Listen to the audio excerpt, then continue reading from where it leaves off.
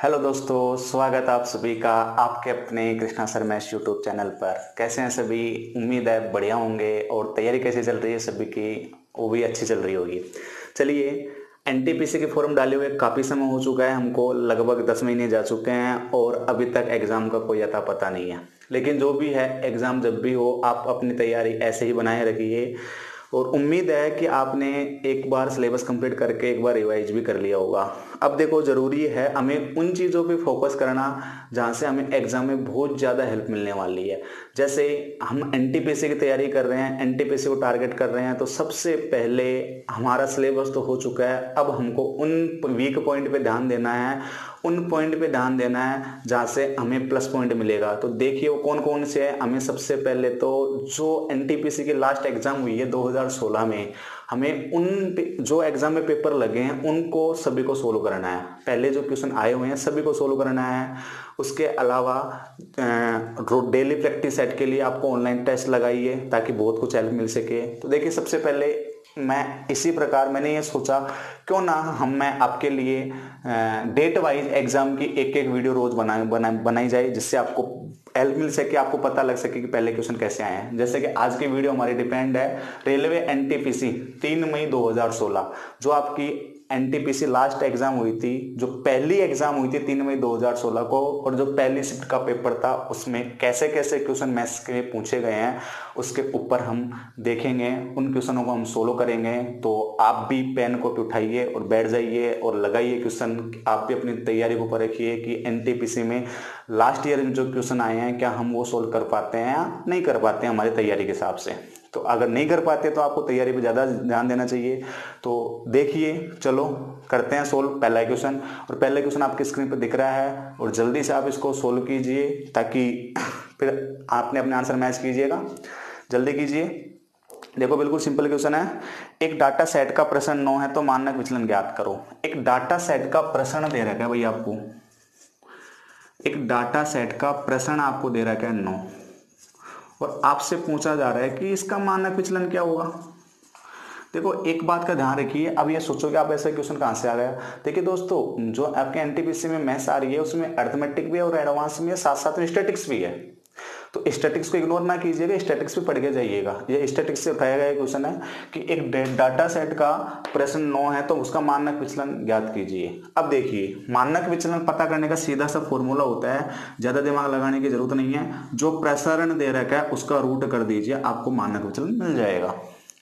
तो प्रसारण क्या दे रखा है? नो। तो नो का रूट करोगे तो क्या आएगा? प्लस माइनस थ्री आएगा। अब देखिए दोस्तों, सबसे इंपॉर्टेंट पॉइंट ये है कि प्लस माइनस तीन आ गया। अब आप पढ़ के नहीं गए हो या जल्दबाजी में होता है क्या आपके एग्ज़ाम में जो आपको ऑप्शन मिलेगा प्लस माइनस तीन में मिलेगा। प्लस तीन में मिलेगा माइनस तीन में मिलेगा और नन मिलेगा, मान लो। ठीक है? इस प्रकार मान लो आपको ऑप्शन मिल रहे हैं तो आप जल्दबाजी में क्या करोगे कि प्लस माइनस तीन टिक कराओगे ठीक है नहीं है? तो ये नहीं करना है। एग्ज़ाम में कभी भी जो आपका मानक विचलन होता है, देखो जो मानक विचलन होता है, कभी भी नेगेटिव नहीं आ सकता। जब नेगेटिव नहीं आ सकता तो भाई साहब प्लस माइनस तीन दोनों आंसर नहीं हो सकते। प्लस माइनस तीन आंसर टिक करे, इसका मतलब ये है कि मानक विचलन प्लस तीन भी होगा माइनस तीन भी होगा। माइनस में कभी भी मानक विचलन नहीं आता है माइनस में वैल्यू आ ही नहीं सकती है मानक विचलन। तो इसका मतलब क्या है? अपना आंसर क्या होगा? प्लस तीन होगा। यानी कि तीन जो आंसर है, वो आपका मानक विचलन सही है बिल्कुल। क्या आंसर आएगा? तीन आएगा भाई। तो इस चीज़ का ज़रूर ध्यान रखिएगा। ये आपके पहले क्वेश्चन का आंसर है, बिल्कुल सिंपल सा। चलिए, बढ़ते हैं दूसरे क्वेश्चन की तरफ़ और दूसरे क्वेश्चन आपके स्क्रीन पर जल्दी से लगाइए, जल्दी से आंसर दीजिए।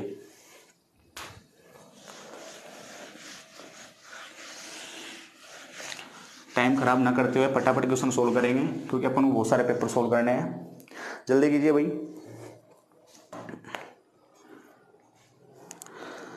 देखिए, दूसरा क्वेश्चन बिल्कुल सिंपल है। कि सिंह एक वायरमैन के रूप में, सिंह है, एक आदमी का नाम है सिंह, कि सिंह एक वायरमैन के रूप में रोहित से दो गुना सक्षम है। उनकी एफिशिएंसी जो वर्क एफिशिएंसी उसका रेशियो दे रखा है। दो गुना सक्षम है, तथा वे मिलकर एक कार्य को दस दिनों में पूरा करते हैं। रोहित अकेला उस कार्य को कितने दिनों में पूरा करेगा? तो देखिए, सबसे पहले तो आपको ये दे रखा है कि सिंह रोहित से दुगना कार्य, दुगना सक्षम है। तो देखिए, जो सिंह है सिंह है और एक रोहित है। सिंह रोहित से दुगना सक्षम है। यानी रोहित की एपी रो, रोहित का एक काम करता है तो सिंह कितना करता है? दो। ये इनकी वर्क एफिशिएंसी का अनुपात आ गया। इनका कार्य क्षमता का अनुपात आ गया एक तरीके से कि सिंह की कार्य क्षमता रोहित से दुगना है। यानी सिंह एक दिन में दो काम करता है तो रोहित कितना काम करता है? एक।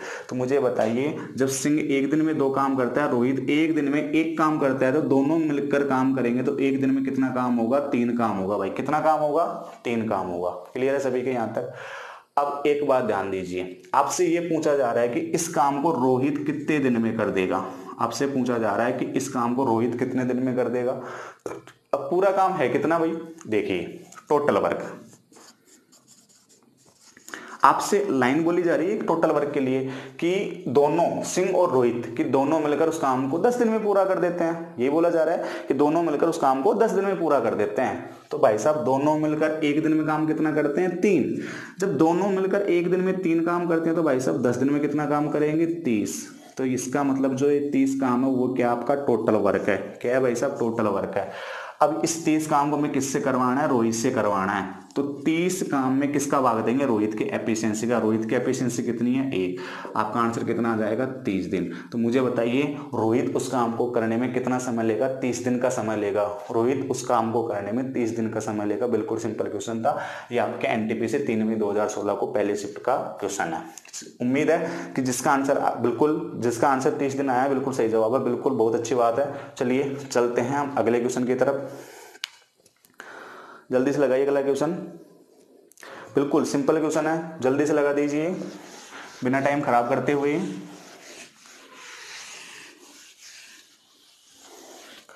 जल्दी करिए भाई, एलसीएम एस का क्वेश्चन है कि दो संख्याओं का गुणनफल दिया हुआ है आपको तीन हज़ार साठ। दो संख्याओं का गुणनफल आपको दिया हुआ है तीन हज़ार साठ। जैसे कोई भी दो संख्या है, मान लो ए तो ए गुणा बी बराबर दे रहा है आपको तीन हज़ार साठ। आपको और दिया हुआ है एलसीएम। एलसीएम दिया हुआ है पिचासी और आपसे पूछा जा रहा है एस क्या होगा इसका? इसका एस क्या होगा? देखिए दोस्तों, सबसे पहले तो हमें कुछ चीज़ें ध्यान होनी चाहिए। जब तक ध्यान नहीं आएँगे, तब तक कुछ नहीं कर पाएँगे हम। देखो, एलसीएम गुणा एस बराबर होता है ए गुणा बी। दो संख्याओं के लेस है और मैस है, इनके बीच जो रिलेशन होता है वो होता है कि जो दोनों संख्याओं का लेस है और जो मैस है, जो एलसीएम है, वो एस है, दोनों का मल्टीप्लाई उन दोनों संख्याओं के मल्टीपल के बराबर होता है। तो ध्यान दीजिए, यानी एलसीएम गुणा एस सी एफ़ बराबर ए गुणा बी अब आपको एस सी एफ़ निकालना, रख दीजिए एलसीएम दे है आपको eighty five S C F पता करना है ए कितना दिया हुआ आपको? सॉरी दोनों ए गुणा बी दिया हुआ आपको तीन हज़ार साठ। तो एस सी एफ़ कितना हो जाएगा आपका? तीन हज़ार साठ बटे क्या करोगे? पिचासी ठीक है? काटोगे तो यह आ जाएगा thirty six S C F कितना आ जाएगा? थर्टी सिक्स तो जिसका भी थर्टी सिक्स आंसर था, बिल्कुल सही जवाब था एस सी एफ़ आएगा थर्टी सिक्स क्लियर है सभी के? देखिए एक एक क्वेश्चन को अभी इसमें होता है क्या कि सोल्ड पेपर करने में एक तो फ़ायदा ये मिलता है कि हमें ये पता लगता है कि देखो पैचेक पहले कैसे कैसे क्वेश्चन आए हुए थे। और ये भी ये भी हमें अंदाज़ा लग जाता है कि पूरी पैस की तैयारी हमें हमारी किस हिसाब से है, क्योंकि सारी टॉपिक क्वेश्चन आपके सामने आ जाते हैं तो आपको आपके वीकनेस भी पता लग जाती है। चलिए, बढ़ते हैं अगले क्वेश्चन की तरफ़ और करिए जल्दी से सोल्व इसको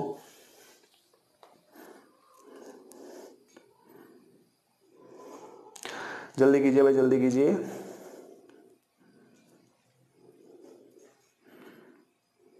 बिल्कुल। प्रॉफिट एंड लॉस का क्वेश्चन है कि एक दुकानदार फल खरीदने और बेचने में तोल से छेड़छाड़ कर। बिल्कुल, छेड़छाड़ी वाला क्वेश्चन है भाई, देखो। ध्यान रखना थोड़ा सा सावधानी बरतना छेड़छाड़ी के मामले में। बिल्कुल सिंपल क्वेश्चन है। नॉर्मल बिल्कुल टेंशन ना लीजिए कि एक दुकानदार फल खरीदने और बेचने में खरीदते टाइम भी और बेचते टाइम भी। तोल से छेड़छाड़ कर 18 परसेंट तक धोखा देता है। तो उसका कुल लाभ प्रतिशत क्या होगा? देखो, कोई दुकानदार है खरीदते टाइम और बेचते टाइम धोखा कैसे देता है वो? कि खरीदते टाइम वह वस्तु ज़्यादा ले आएगा वज़न में तोलने में। और जब किसी ग्राहक को बेचेगा तो वह पैसे तो एक किलो के ले लेगा, लेकिन एक किलो से कम में बेच देते हैं, बेचता है तो उसका प्रॉफिट डबल होगा, इधर से भी प्रॉफिट होगा और वहाँ से भी प्रॉफिट होगा। तो 18 परसेंट का प्रॉफिट जो हो रहा है, वो दोनों साइड से प्रॉफिट हो रहा है। यानी 18 परसेंट का प्रॉफिट उसको खरीदते टाइम हो रहा है और 18 परसेंट का प्रॉफिट उसको बेचते टाइम हो रहा है। तो देखिए उसका प्रॉफिट कितना होगा, ध्यान दीजिए।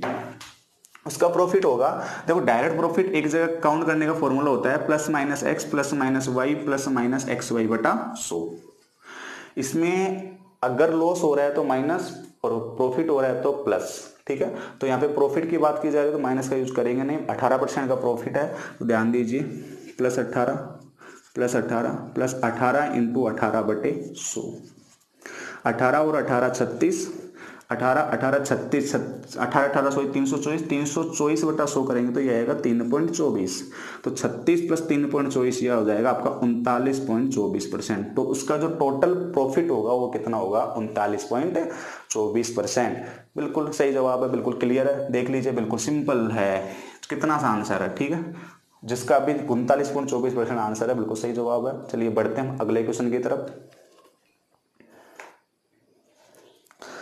चले कीजिए अगला क्वेश्चन बिल्कुल बिल्कुल सिंपल क्वेश्चन है, वही प्रॉफिट एंड लॉस का क्वेश्चन है, बिल्कुल सिंपल क्वेश्चन है। जल्दी से खत्म करिए इसको।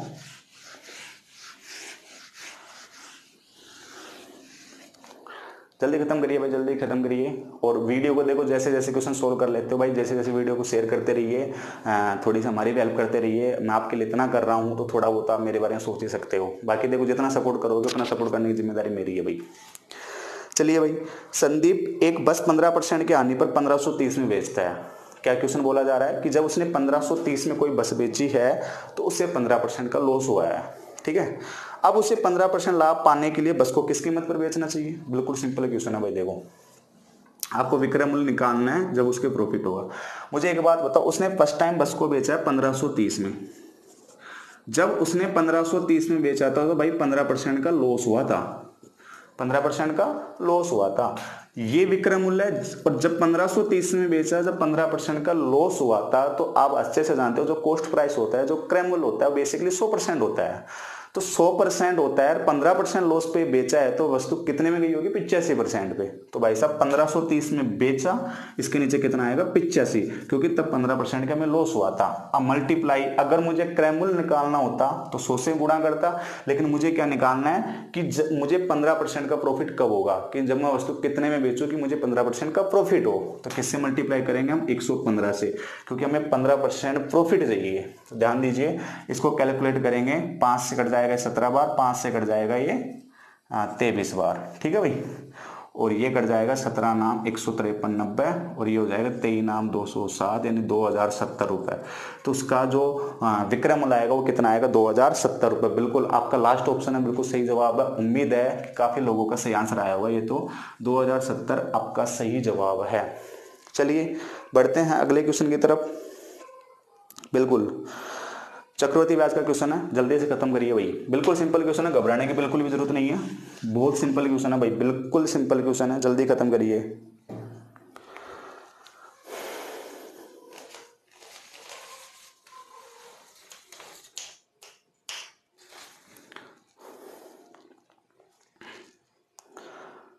जल्दी करिए भाई, जल्दी करिए। देखिए।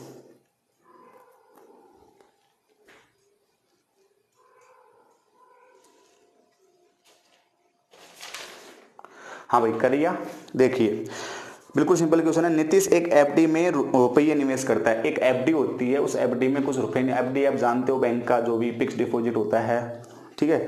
उसमें कितने रुपए लगाए? दस हज़ार पाँच सौ। यानी आपका जो प्रिंसिपल है, वो दस हज़ार पाँच सौ है, ध्यान दीजिए। जो प्रिंसिपल है, वो है आपका दस हज़ार पाँच सौ रुपए कैसे लगाया है? टाइम है छह महीने का।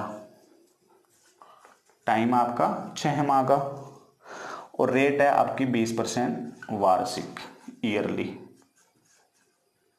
ठीक है? चक्रवर्ती ब्याज की तरफ़ पर निवेश किए गए हैं तो जिसमें ब्याज तिमाही संयोजित है। ध्यान दीजिए, ब्याज है जो तिमाही है। जो ब्याज की कंडीशन अप्लाई कर रहे हैं जो ब्याज काउंट हो रहा है, वो तिमाही काउंट हो रहा है तो परिपक्वता होने पर उसे कुल कितनी राशि मिलेगी, यानी टाइम कंप्लीट होने पर उसे कितनी ब्याजी कितनी राशि मिलेगी, यानी आपसे क्या पूछा जा रहा है अमाउंट पूछा जा रहा है, ध्यान कर लिया, आपसे क्या पूछा जा रहा है अमाउंट पूछा जा रहा है तो ध्यान दीजिए भाई।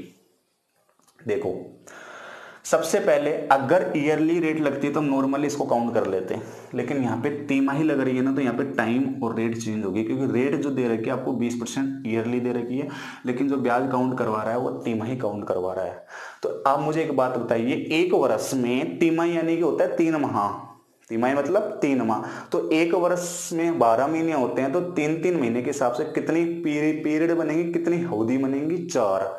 तो चार अवधि बनेगी तो आपको दर में ये बीस परसेंट में चार का भाग लगा के दर बन जाएगी पाँच परसेंट, यानी कि एक तीन महीने की जो दर होगी, वो होगी पाँच परसेंट।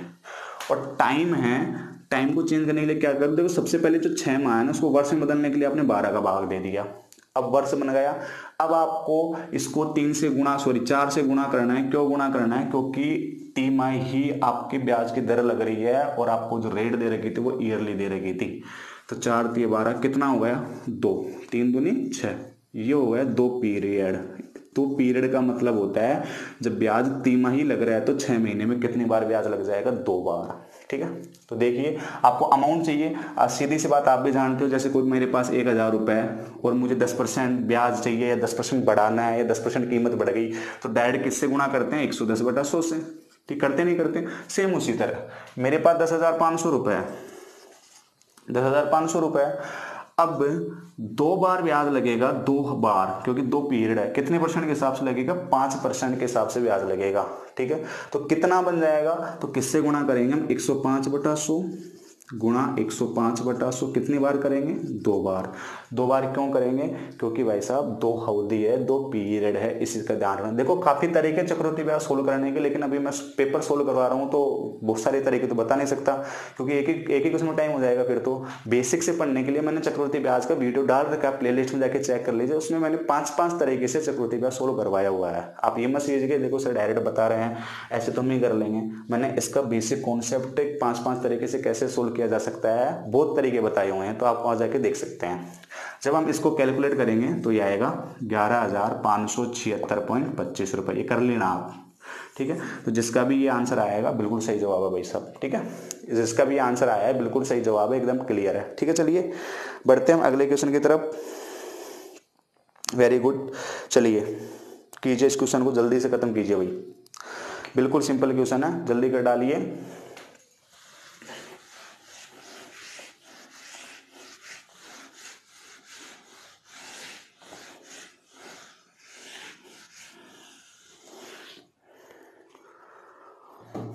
भाई वीडियो शेयर करते रहिए जल्दी से सभी, ताकि ज़्यादा से ज़्यादा बच्चे लाइव आ सके ज़्यादा से ज़्यादा बच्चे हम मुझसे जुड़ सके, क्योंकि बच्चे जुड़ेंगे स्टूडेंट जुड़ेंगे ज़्यादा से ज़्यादा तभी मैं आप तक अच्छा से अच्छा कंटेंट पहुँचा पाऊँगा। चलिए, बिल्कुल सिंपल है बेसिक कैलकुलेशन क्वेश्चन है भाई। तैतीस हज़ार आठ सौ चालीस divided by two thirty five divided by six आप अच्छे से जानते हो, जब भी डिवीज़न होता है तो सबसे पहले डिवीज़न सोल्व किया जाता है, कैसे इसको मल्टीप्लाई बना के, जब मल्टीप्लाई बनाएँगे तो संख्या नीचे चली जाती है। यानी कि तैतीस, आठ सौ चालीस, one upon two thirty five, गुणा वन अपॉन सिक्स, ठीक है?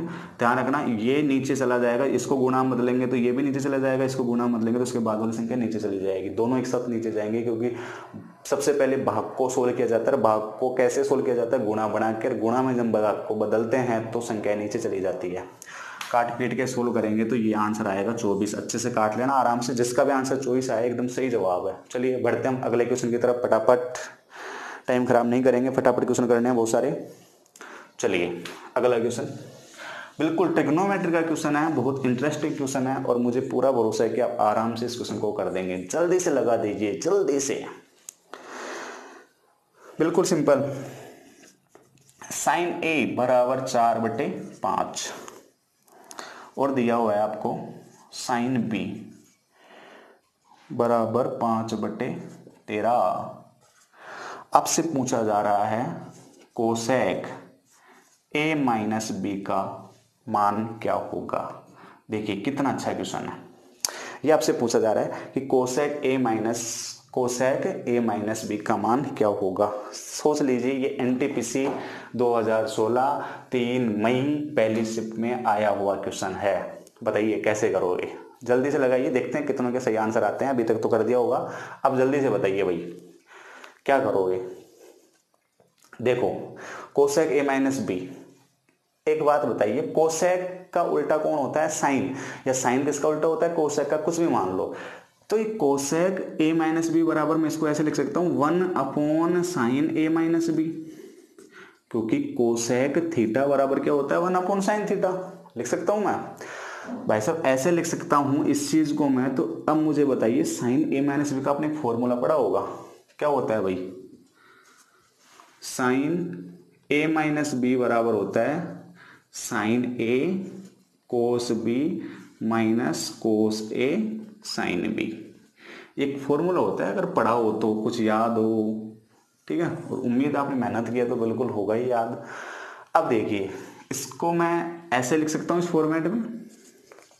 Sine A cos B minus cos A sine B ठीक है?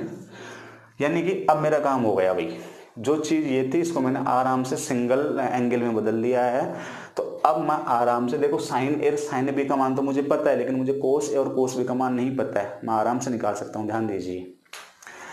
एक बात बताइए साइन थीटा बराबर आप अच्छे से जानते हो, लाल बटे कक्का से। साइन थीटा बराबर क्या होता है? लंब बटे कर्ण साइन थीटा बराबर लंब बटे कर्ण होता है, यानी कि ये तो लंब है और ये आपका कर्ण है।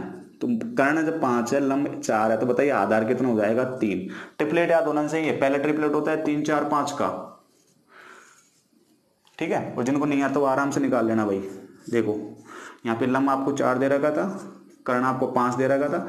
जब आधार निकालोगे तो पाँच के स्क्वायर पच्चीस, चार के स्क्वायर सोलह, पच्चीस में सोलह जाएगा तो नौ नौ का रूट हो जाएगा, तीन, यहाँ से आधार ये तीन आया है। बाकी याद होना चाहिए डायरेक्ट ट्रिपलेट तीन होता है। तीन, चार, पाँच का ट्रिपलेट बन रहा था यहाँ पे।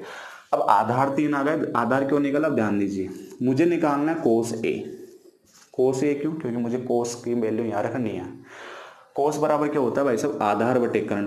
तो कोस ए बराबर आधार बटे कर्ण। भाई साहब, आधार कितना है? तीन। और कर्ण कितना है? पाँच।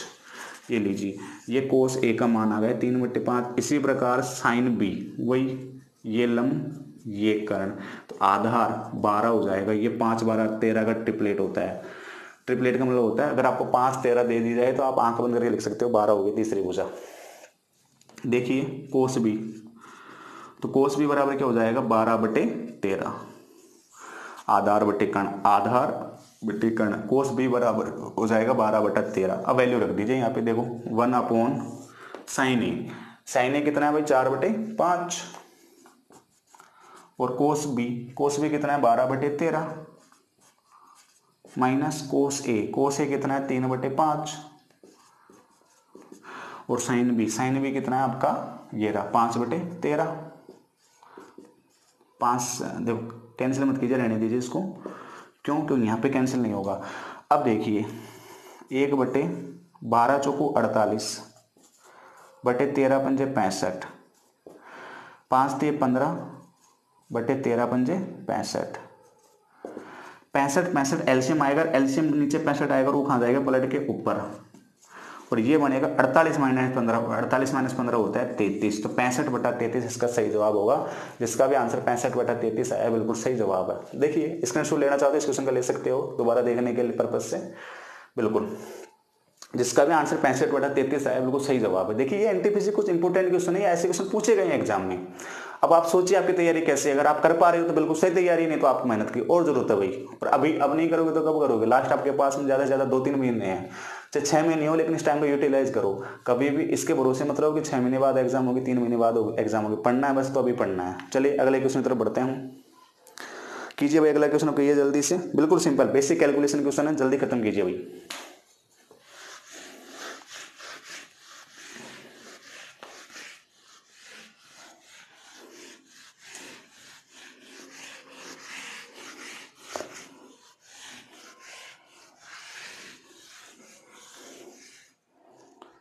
जल्दी खत्म कीजिए बिल्कुल basic cal basic calculation question है, सात x minus x minus three इसको सोल्व करेंगे तो क्या आएगा आपके ऑप्शन में, आपके सामने चारों? तो देखिए, मैं करवा देता हूँ टाइम खराब नहीं करेंगे। सात एक्स ब्रैकेट के बाद माइनस है तो ये हो जाएगा minus x minus minus plus तीन तो सात में से एक्स जाएगा छः एक्स हो जाएगा ये हो जाएगा प्लस तीन.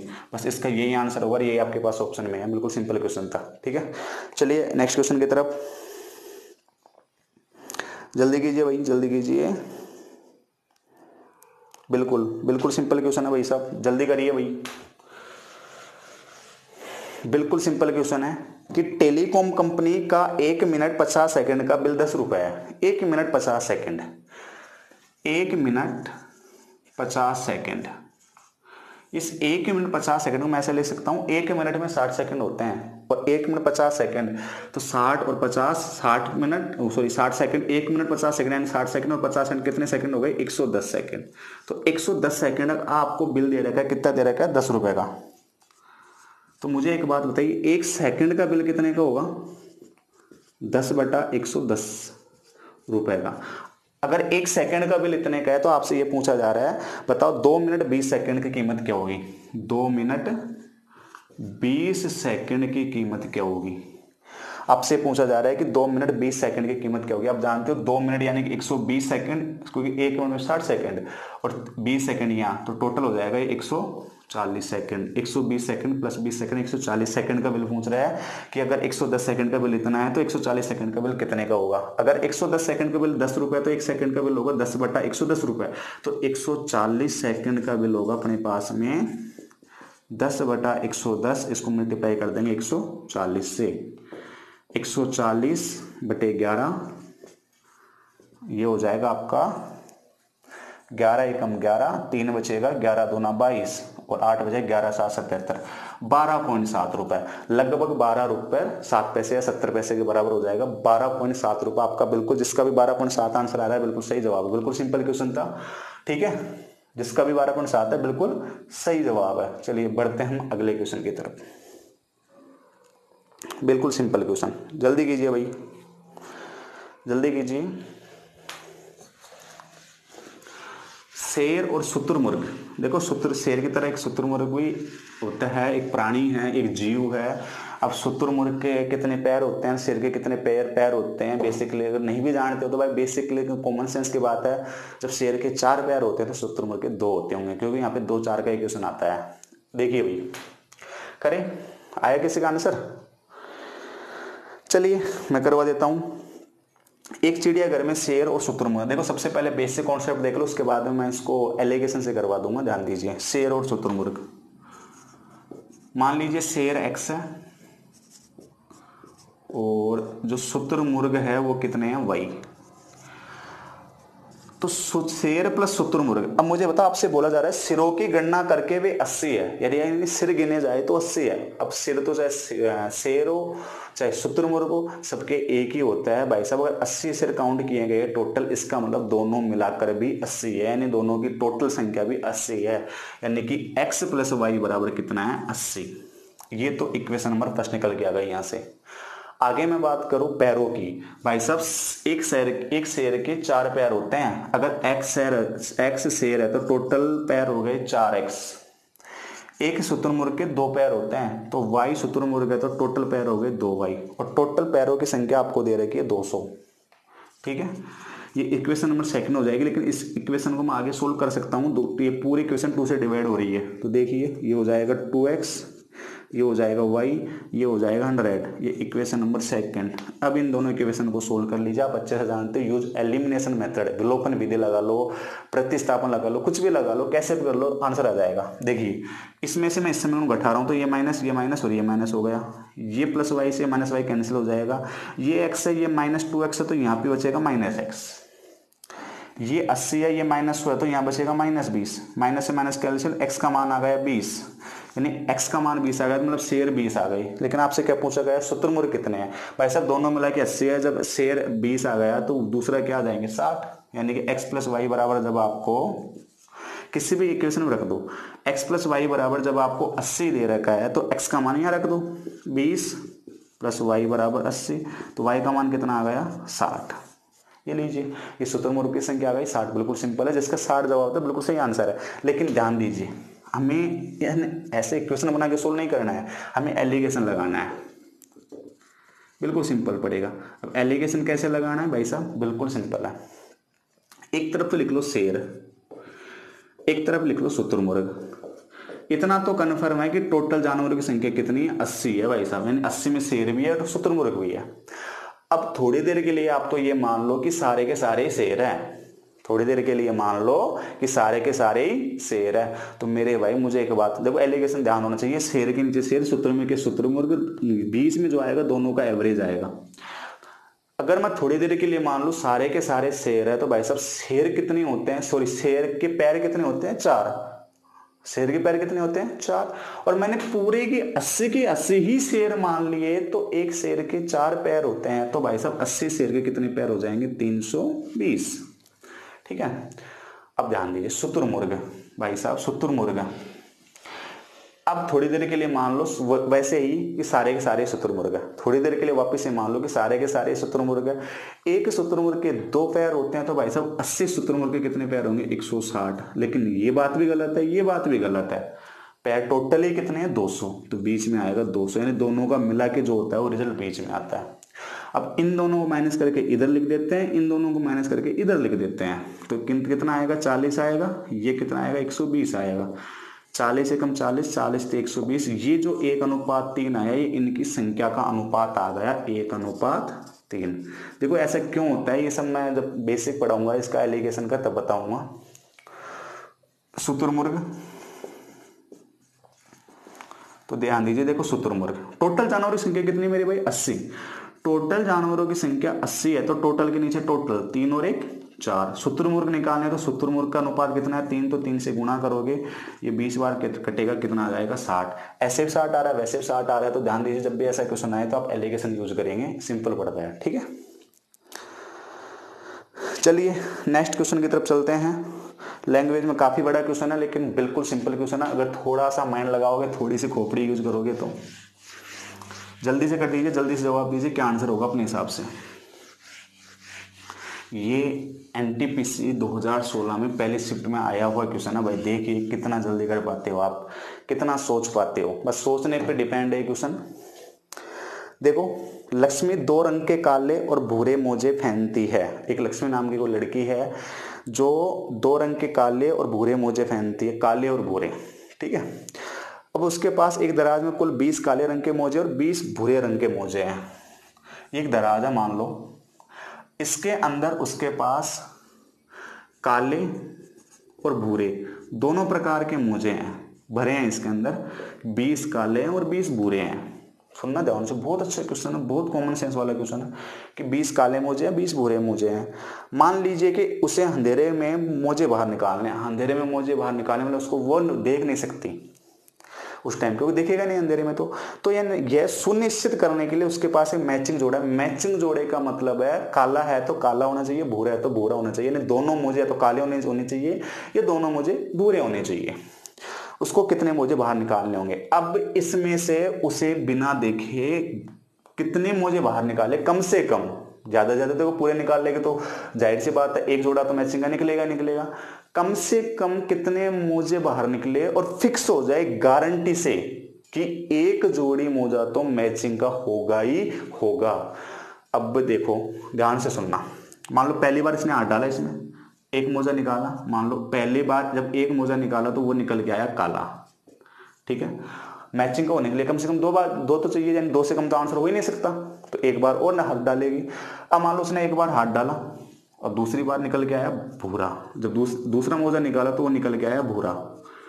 मैचिंग नहीं हुआ। इसका मतलब मैचिंग होए तब तक काम करना। अब जब तीसरी बार हाथ डालेगी ध्यान से सुनना अब जब तीसरी बार हाथ डालेगी तो भाई साहब चाहे काला मोजा निकलेगा। या मान लो काला नहीं निकला भूरा निकला तो भी मैचिंग तो बन गई ना।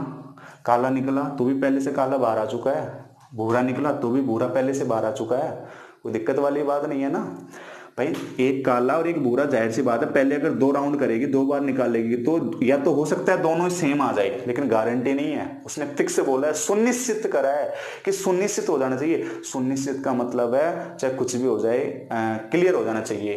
कहने का मतलब यही है, पहली बार देखो वो कम चांस होता है कि दोनों बार में एक ही जोड़ी के काला है तो काला आ जाए दूसरी बार में। बट ये फिक्स है, तीन बार निकालने पर एक मैचिंग जोड़ा ज़रूर ही बनेगा। तो इसका सही आंसर कितना होगा? कितने कितने मोजे निकालने पड़ेंगे? तीन बार। या तीन मोजे निकालने पड़ेंगे उसको। क्लियर है यहाँ तक? जिसका भी आंसर ये था, बिल्कुल सही जवाब था भाई। चलिए, बढ़ते हैं हम अगले क्वेश्चन की तरफ़।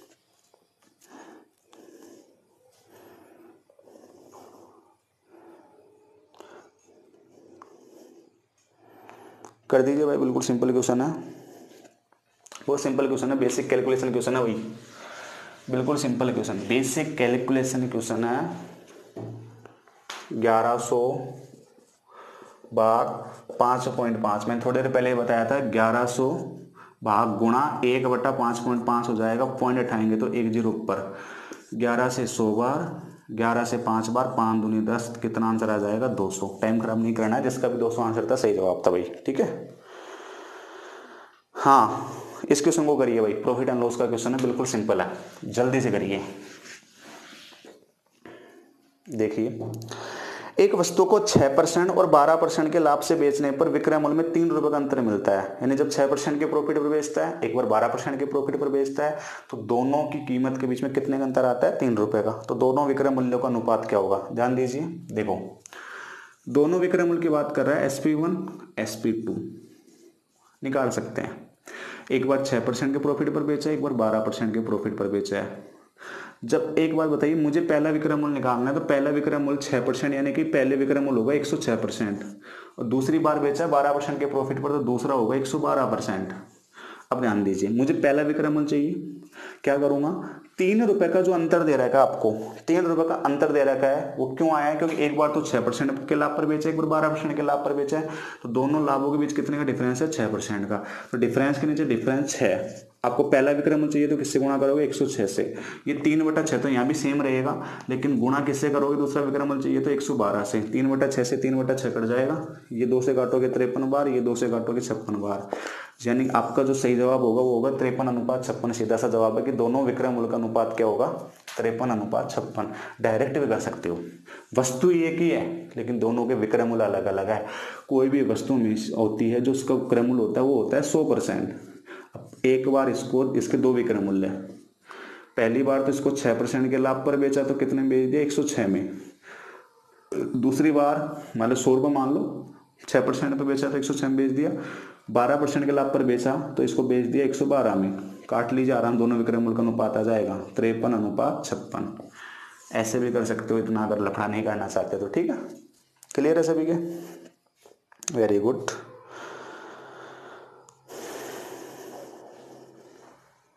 चलिए, अगला क्वेश्चन जल्दी से करिए अगला क्वेश्चन बिल्कुल सिंपल है भाई। यदि कोट एक्स बराबर पाँच बटे बारह टेक्नोमेट्री का क्वेश्चन है। जल्दी से कर दीजिए।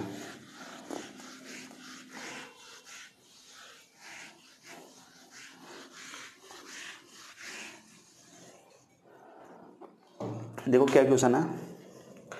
यदि कोट एक्स बराबर पाँच बटे बारह और आपसे जो पूछा जा रहा है वो पूछा जा रहा है cos x plus sec x क्या होगा? बिल्कुल सिंपल है भाई बिल्कुल सिंपल है ध्यान दीजिए। लाल बटे का, का यूज़ करिए भाई। Sine cos tan cot cot बराबर होगा आधार बटे लम ये तो होगा आधार ये होगा लम अभी अभी मैंने बताया, थोड़ी देर पहले पाँच बारह तेरह का ट्रिपलेट लग जाएगा यहाँ पे। यानी आधार पाँच है लम बारह है तो कर्ण कितना आ गया? तेरह। हाँ भाई कोस एक्स ध्यान दीजिए। बनाओ चाहे मत बनाओ डायरेक्ट हो जाएगा। देखो कोस बराबर होता है आधार बटे कर्ण ये तो हो जाएगा आधार बटे कर्ण और सेक बराबर होता है कर्ण बटे आधार, उल्टा होता है बस। ठीक है? Sine cos tan cot sec cosec तो कोस आधार बटे कर्ण sine cos tan cot sec sec यहाँ आता तो कर्ण बटे आधार तो कर्ण बटे आधार। रख दीजिए, आधार। पाँच कर्ण कितना है? तेरह। प्लस कर्ण कितना है? तेरह। आधार कितना है? पाँच। कीजिए सोल्व तेरह पंजे पैंसठ, ये आपका एल्शियम आ जाएगा। तेरह पंजे पैंसठ, पाँच पाँच, पच्चीस। पाँच से तेरह बार कटेगा। तेरह बार तेरह तेरह वन सिक्सटी नाइन ठीक है? ऐड कर दीजिए। कितना हो जाएगा? नौ और पाँच चौदह, एक छः और एक सात और दो नौ, एक सौ चौरानवे बट्टे पैंसठ। ये आपका सही जवाब हो जाएगा, जिसका अभी एक सौ चौरानवे बट्टे पैंसठ आंसर आया बिल्कुल सही जवाब है। समझ में आ गई? चलिए, अगले क्वेश्चन की तरफ़ बढ़ते हैं हम।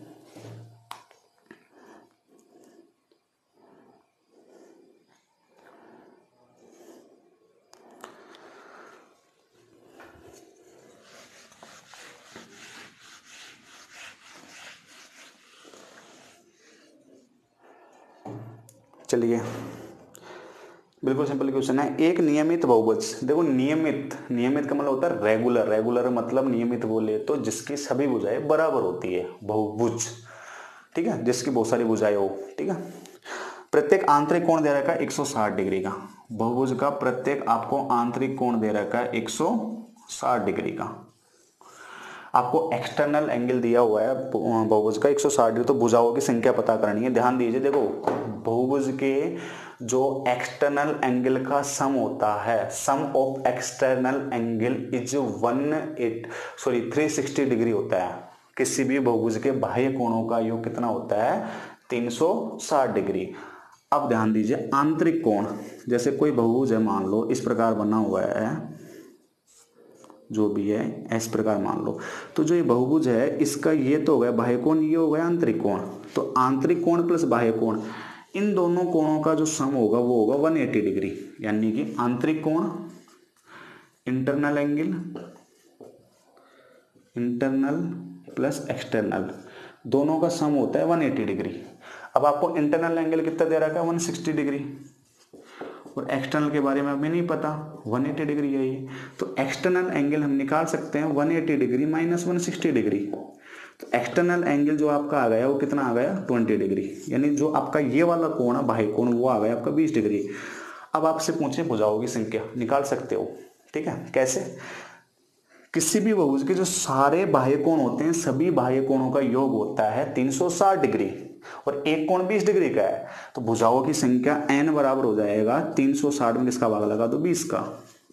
कितने हो जाएगी? भुजाओं की संख्या 18 ये निकालने का कॉन्सेप्ट है सीधा सा। देखो, ये तो पेपर सोल्व कर रहे हैं। पेपर सोल्व वही कर सकते हैं जिनकी तैयारी अच्छे से है, जिनको सारी चीज़ें पता है कि बहुभुज का आंतरिक कोण क्या होता है, बाह्य कोण क्या होता है।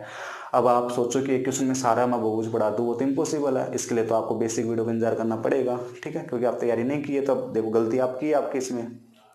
ठीक है? तो जिसका भी ये सही जवाब था, चलिए। आगे बढ़ते हैं क्वेश्चन की तरफ़, जो एक और एनटीपीसी में पूछा गया है आपसे।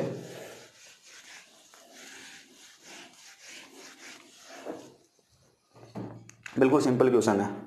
क्या बोल रखा है कि k बराबर माइनस तीन एम बराबर एक एन बराबर माइनस चार, और आपसे पूछा जा रहा है। जल्दी कीजिए भाई, देखो। तीन के plus two M upon two N minus three के की वैल्यू क्या होगी? ठीक है? ये आपसे पूछा जा रहा है। अब देखिए भाई वैल्यू रख दो, सीधी सी बात है। तीन के की वैल्यू क्या दे रखी है? माइनस तीन। प्लस टू एम की वैल्यू क्या दे रखी है? एक। टू एन की वैल्यू कितनी दे रखी है? माइनस चार। माइनस तीन के की वैल्यू कितनी दे रखी है? माइनस तीन। बस सोल्व करो। तीन गुणा माइनस तीन, माइनस नौ, प्लस टू चार दूनी आठ, माइनस के, और माइनस माइनस प्लस तीन तीन नौ। माइनस नौ प्लस दो, माइनस सात, माइनस आठ प्लस नौ, प्लस एक, माइनस सात बटे एक, आंसर विल भी माइनस सेवन ठीक है? जिसका भी आंसर माइनस सेवन था, बिल्कुल सही जवाब है, ठीक है? आ गया सभी के समझ में। देखिए दोस्तों, थोड़ा सी, रात का टाइम है बहुत टाइम हो चुका है, थोड़ा मैं थकान महसूस कर रहा हूँ तो आज के लिए इतना ही काफ़ी है। अभी भी देखो कुछ क्वेश्चन है अभी भी, इस डेट को जो एग्ज़ाम हुए, तीन मई 2016 को आए हुए क्वेश्चन है, कुछ रह रहे हैं तो वो आगे डिस्कस करवा दूँगा मैं, अगर आप चाहोगे तो अच्छा फीडबैक दोगे तो। तो एक तो थोड़ा सा देखो, जितना कर सकते हो, जितना शेयर मारिए इस वीडियो को, ताकि मुझे भी थोड़ी हेल्प मिले। अगर आप चाहते हो कि ऐसे ही मैं एनटीपीसी के पेपर सोल्व करवाऊँ तो आप एक काम कीजिए, अपने जो कमेंट बॉक्स है, उसमें अपनी राय दीजिए कि हाँ सर, आप ये चीज़ कंटिन्यू करिए तो मैं इसी चीज़ को कंटिन्यू करूँगा। अगर आप चाहते हो कि नहीं सर, पूरी क्लासेज ली जाए बेसिक टू बेसिक पूरे टॉपिक वाइज तो मैं वो भी करूँगा। तो ठीक है थोड़ा सा साथ बनाए रखिए और अपनी तैयारी इसी तरह कंटिन्यू करिए। देखो कब जॉब कब एग्ज़ाम लग जाए, कोई पता नहीं। आप अपनी तैयारी को रखिए। बस तीन महीने, जब तीन महीने, चार महीने मेहनत करने से आपकी ज़िंदगी बदल सकती है तो क्यों नहीं कर लेते यार तीन, चार महीने मेहनत? ठीक है? सो तो बाद में मिलेंगे, और काम करते हैं, जो इक्के दुक्के हो तो बाद में भी कर लेंगे। ठीक है? चलिए, ज़्यादा बात नहीं करेंगे। ठीक है? Good luck good bye